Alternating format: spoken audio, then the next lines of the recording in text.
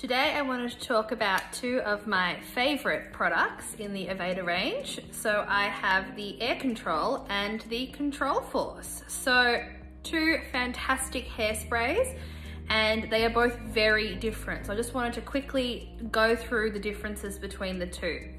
First, let's start with the Air Control. Air Control is a fantastic lightweight brushable hairspray. You can put it in your hair it's very dry, so it's going to be able to set the hair. It's not going to make the hair frizzy or fluffy. Um, if you've got curly hair and you're scared about additional moisture being added to the hair, then once you put it through the hair, you can actually brush your hands through it and brush your hair, which is what I've got in my hair today. So I put some um, I blow dried my hair and then before I used my tongs, I actually put air control through my hair. I brushed it all the way through. Then I tonged my hair and then I finished it with hair air control just to help set the overall look of my curls. Um, Air Control is a fantastic hairspray if you've got a little bit of oiliness that you wanna absorb as well. It does act kind of like a dry shampoo, but not quite because it does give grit and hold to the hair, whereas a dry shampoo can also make the hair quite smooth. Um, so with the, air, with the air control, it does absorb oil, which is fantastic.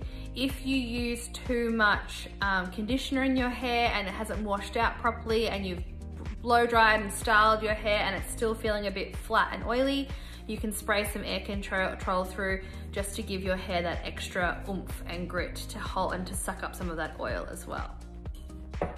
Now, Control Force, very different hairspray, but also fantastic.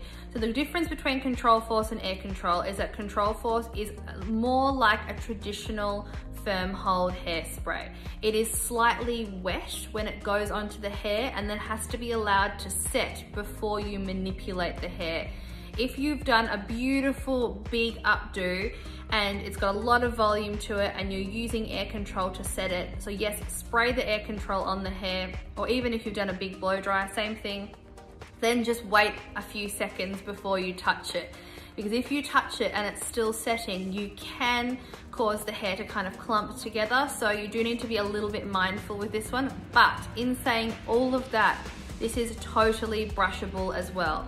So you can put this through your hair, you can have it set all the, the curls or whatever it is that you've done, and then you can brush it out. And once you've brushed it out, you've got definition, you've got so much hold. It is so strong.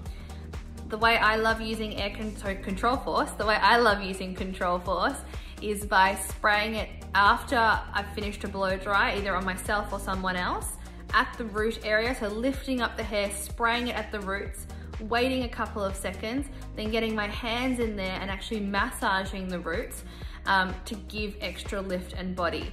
So that's how I use the control force. Or the alternate way is if I've done something that's quite sleek and I wanna tame flyaways and frizziness, um, I can spritz the air control and using a makeup brush, actually brush the flyaways down from the hair. So two of my favorite products, the air control and the control force. Um, these are actually mine from my house, so I use them very regularly. Um, please, we'd love, if you have any questions, please don't hesitate to reach out to us. We'd be more than happy to help you. And thanks so much for watching.